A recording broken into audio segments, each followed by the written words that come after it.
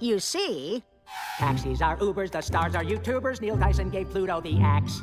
Cell phones got smarter, the oceans got hotter, the global economy collapsed. We get internet deals on our hyphenate meals like cage-free vegan paleo sausage. We don't leave our homes thanks to Amazon drones. They track what we do through our watches.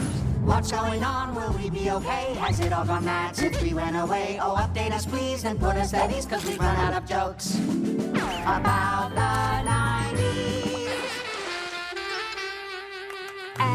lost bad cause of one hanging Chad. W hunted for WMDs. Obama brought hope, so Clinton thought dope. 2016 should be a real breeze. So Hillary finally broke that glass ceiling? no, but it certainly does feel like it's raining shards of glass all around us.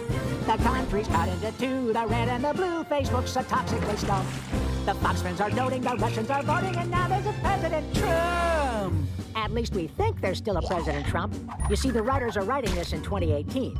How is that possible? The people rely on anime news for outrageous and relevant content. Well, how can we finish catching up when we don't know what happened in the last two years?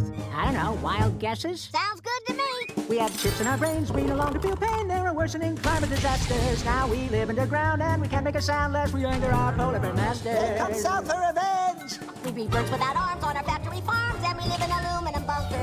bunkers. We humans to Mars, all the food comes in bars, and the top-rated show is called Clunkers. It's about a talking police car! Who's also a time machine. Wow, here comes the star, Clunko. I travel through time, fall and cry. That's what's going on in the world today. This is crazy now, as when we went away. Our ratings depend on knowing the trends. We're all song ends.